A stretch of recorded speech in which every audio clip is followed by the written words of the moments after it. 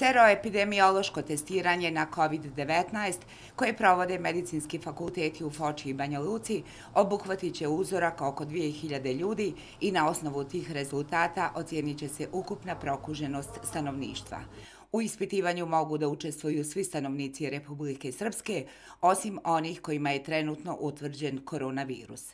Ono što je u ovom trenutku izvjesno je da je prokuženost veća u urbanim sredinama. U ovom trenutku od opštine do opštine, od lokalne zajednice do lokalne zajednice u procentima moramo gledati cijelokupan nivo Republike Srpske i samim tim samo želimo to da spriječimo da e, pojedini, e, pojedini lokalne zajednice koriste podatke za neki segment ne eventualno pokušaja ublažavanja mira ili poštravanja. Dekan Medicinskog fakulteta u Foči, Dejan Bokonjić, ističe da testiranje ide u dobrom pravcu. Tek u sporadičnim slučajevima neke porodice su odbile testiranje. Cilje da se vidi koliko ljudi je prebolilo COVID ili bilo kao simptomatski ili asimptomatski i da znamo u suštini koliko smo daleko od kolektivnog imuniteta. To će biti vrlo značajno za pravljenje strategije za vakcinaciju u narednom, u narednoj godini, jer na osnovu toga ćemo moći da znamo koliko bi bil, trebao da bude obuhvat teoretski vakcinom, da bi na osnovu ovakvog stepena preleženosti mogu da kažemo da smo na neki kolektivni imunitet i da bi mogli definitivno pandemiju da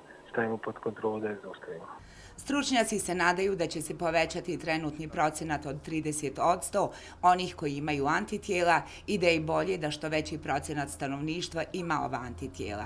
Drugim riječima, veći je broj ljudi bio u kontaktu sa koronavirusom. Ono što nama pokazuje ovo serološko testiranje, E, šta se dešavalo izvan onoga što smo mi vidjeli našim PCR testiranjem. Znači koliko se bolest, osim onoga što smo mi mogli da prepoznamo i nađemo, još širila.